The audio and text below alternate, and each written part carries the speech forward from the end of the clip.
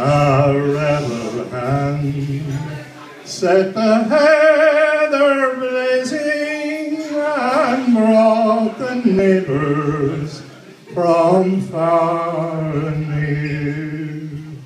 Then Father Murphy from old Kilcormack stirred up the rocks with a warning cry.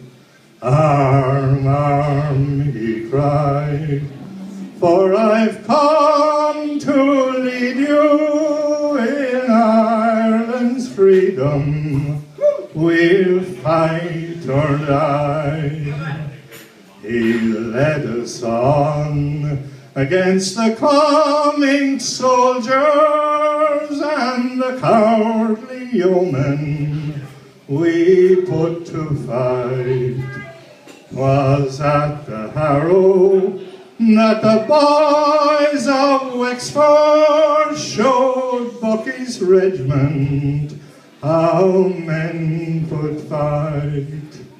At Vinegar Hill, o'er the pleasant Slaney, our heroes bravely stood back to back, and the Yeos at Took Father Murphy and burned his body upon the rack.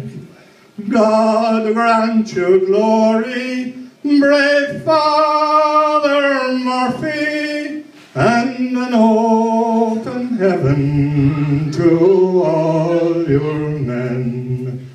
For the cause that called you may call tomorrow in another fight for the